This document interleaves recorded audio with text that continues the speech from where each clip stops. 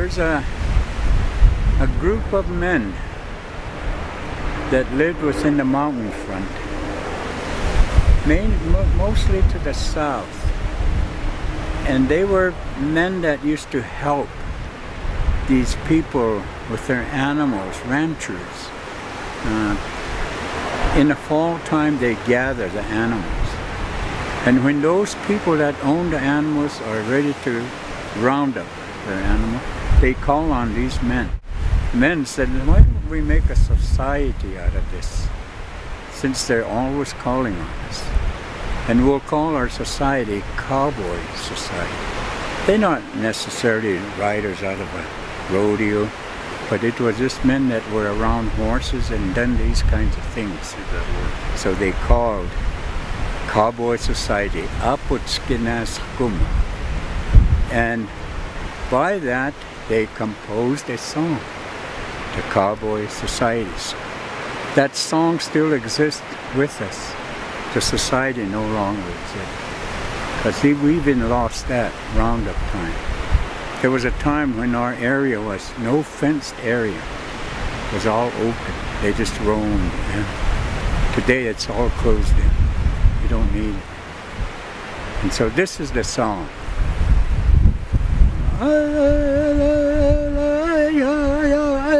Hey hey hey hey yo hey ya hey ya hey ya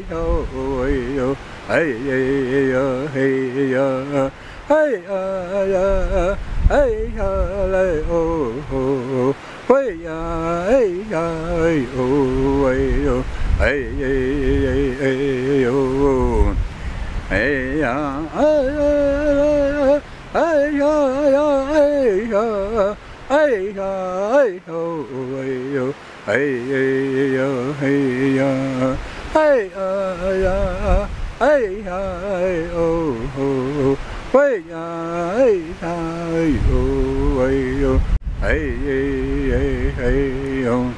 ayaw nina spamokin na Nakumoksin nung papi piksi toy. Suka piakan sa tapi itaw Just a little short prayer.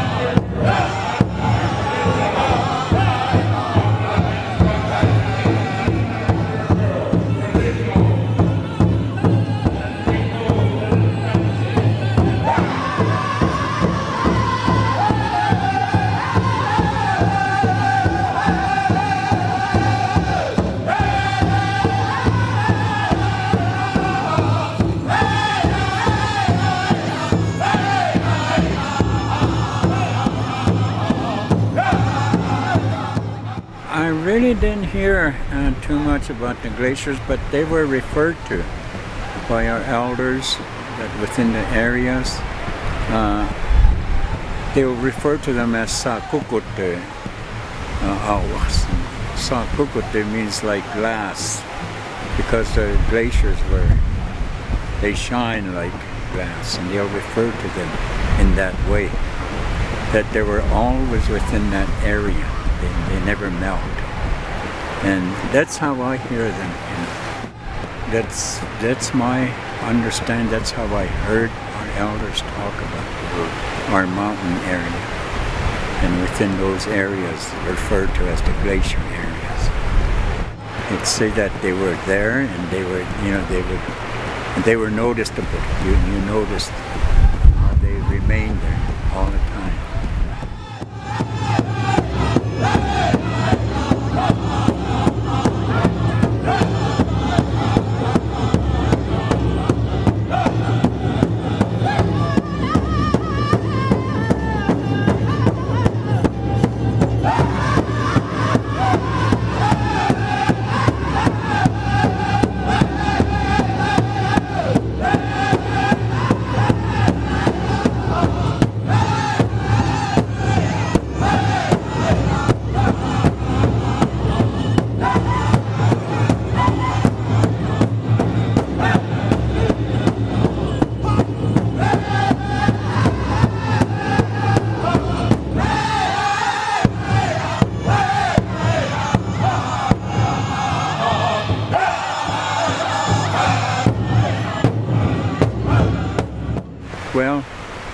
This is their, this was their life within these areas. They used it in every way. They came to hunt, they came to use the, be in a wooded area, they came to fast, uh, they uh, prayed within these areas. And it, it, it was very sacred to them. In fact, this one mountain, they refer to it as the sacred mountain, holy mountain, not two years Yistak, holy mountain, because it was very spiritual.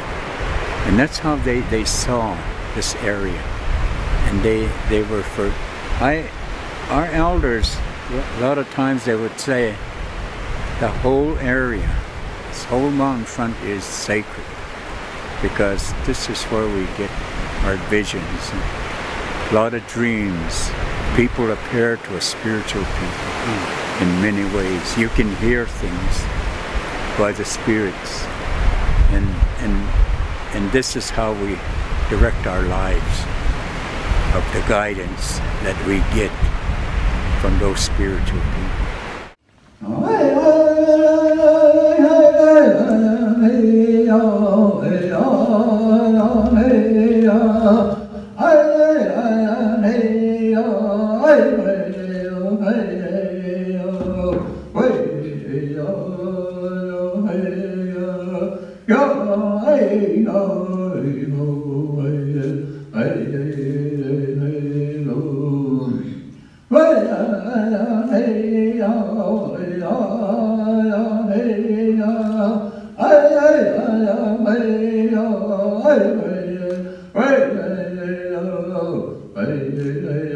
Oh.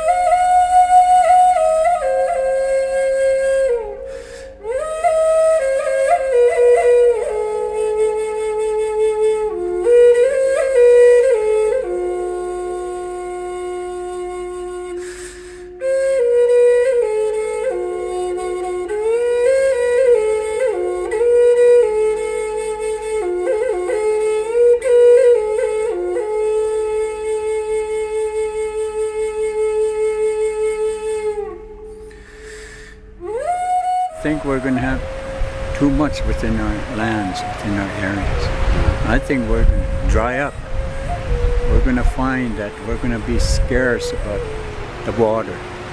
We're going to find it difficult because water is our sacred. To the Indian people, water is sacred. If they can just have water, they'll go a long ways. If that's gone, it makes everything lie. So that's that's a dangerous thing to lose our water, to lose that moisture that comes through through these glaciers, through whatever means it does coming from the mountains. And so it's important. Today we already lost that fall big snow. We lost the spring big snow. Don't happen anymore. And it was always something that our people looked forward to. My sister received her Indian name from that fall big snow. It's Chichot Potak, Snow Woman. And that's how it was recognized. That's how real they were.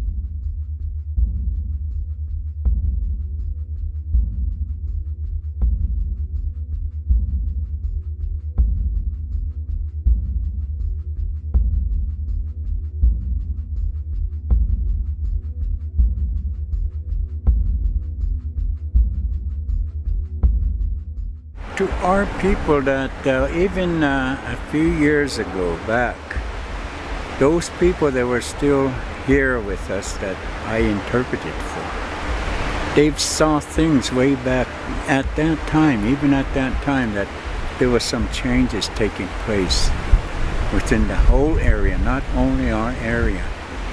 They're saying there's too many things that's going up into the air, too many things going up into the sky. That's changing a lot of things, our way of life, even our way of life, the way we see things. And, and today it's not that real anymore. Even our climate changed. It's not the same. We, we know certain times this is what's going to happen. This is what to look forward to. Today we can't do it anymore because it changed so much. Unpredictable anymore. And they knew that when things start changing, people are going to change. And it's true. A lot of our people don't really know what's really happening, our young people. And I think this needs to go back to them. They need to know more of what was happening, where we're, at today.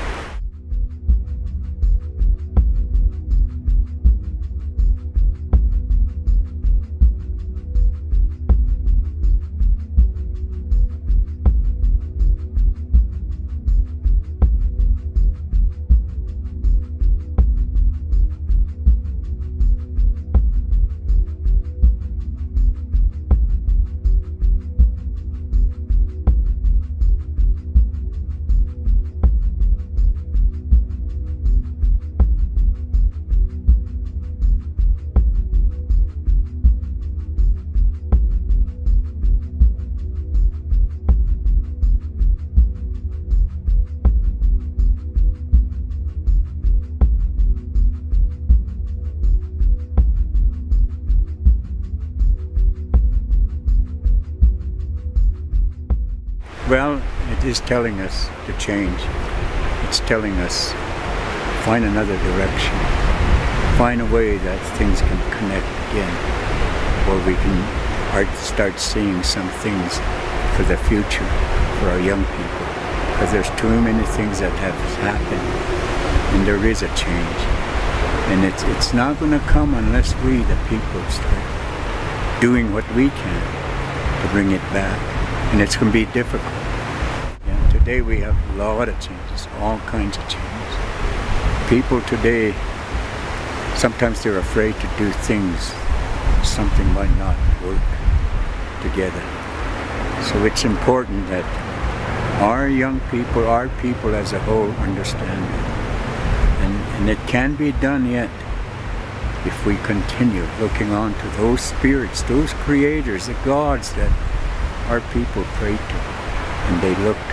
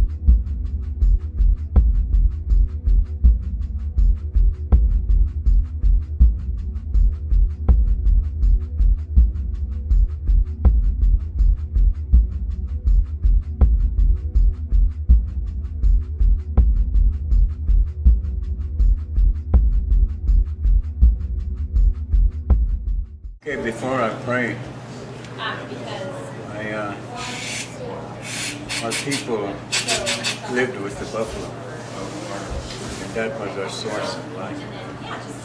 um, Every part of the buffalo was part of us, and uh, our people followed them. There was a time when our people were without the buffalo, and they were they were looking for the buffalo. And uh, a place called Buffalo Lake on the Blackfeet Nation. It's on the east, towards the eastern part of the reservation. That's where they were during the winter time. And as they were looking for the buffalo, they, they wanted something to eat.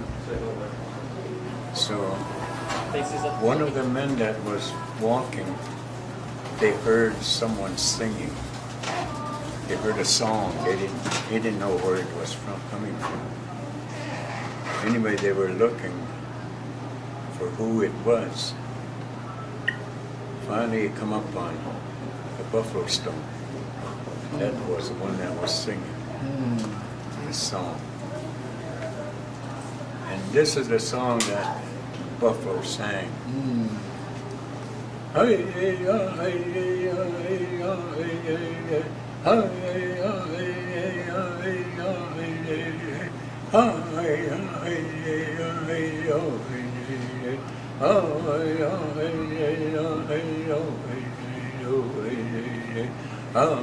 ah, hey, ah, hey,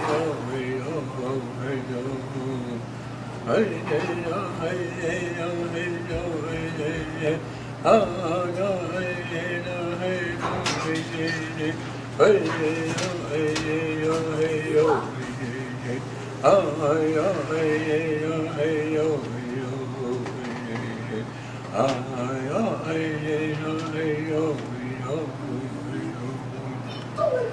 that buffalo got through singing. He told the people, you go certain place, there's the buffalo.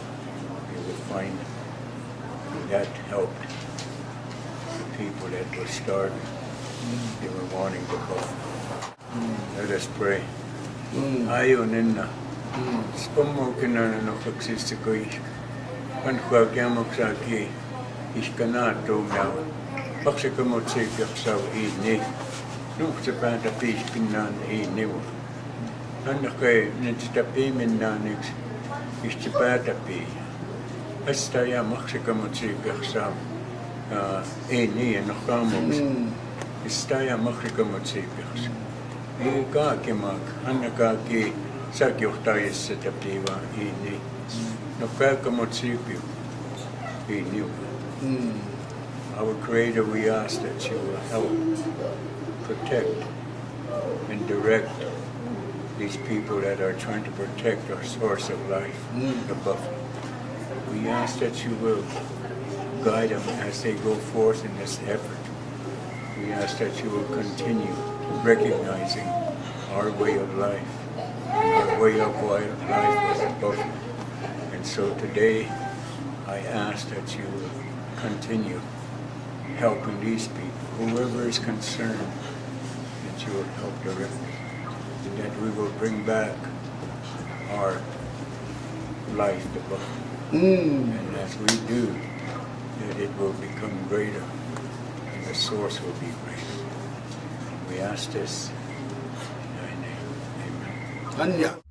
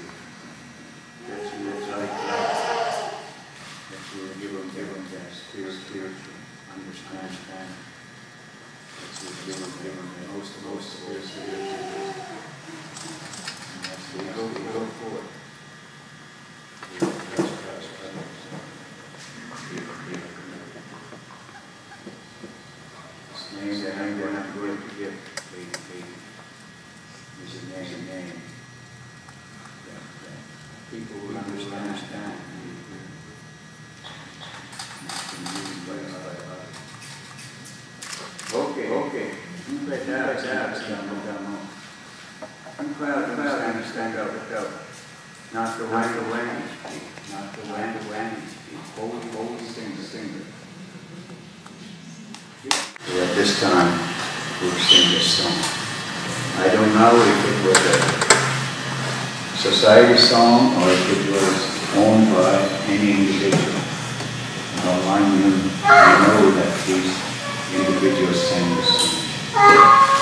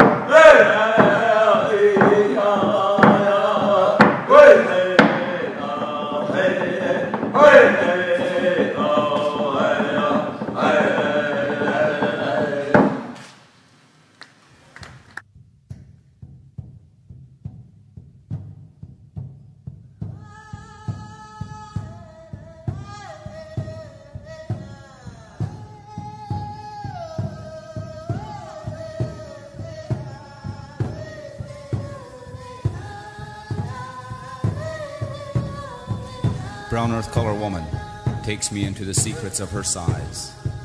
When I step into the brown of her eyes, I find sight of special dreams, fluttering eyelashes and fluttering hearts, dancing in magic no one understands.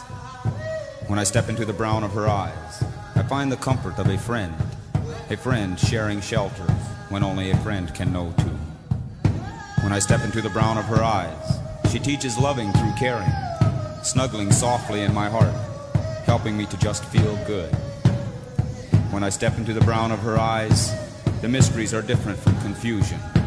Illusions are handled by seeing through. Clearly, there is life ahead. When I step into the brown of her eyes, brown earth color woman takes me into the secrets of her size, gentling me in a balance of passion.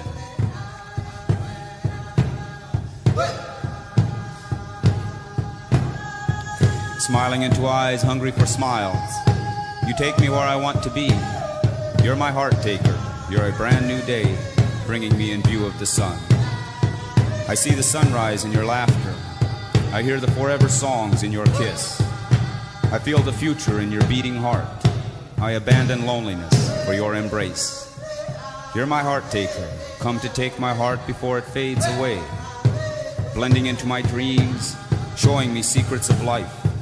Holding my hand in the universe, you put together a breaking soul. Smiling into eyes hungry for smiles, enchanting today with your magic. Tomorrow can't help but to be good. You brought the world back to me. I think there's going to be a loss, a lot of things lost through this.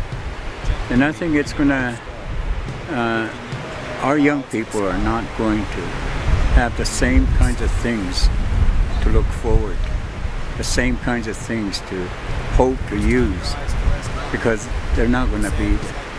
And we need to find some other way. How can we encourage them to continue and to try to stay within the best that they can in our way of life, the ending way of life. And I think that's going to help them to start connect things together again.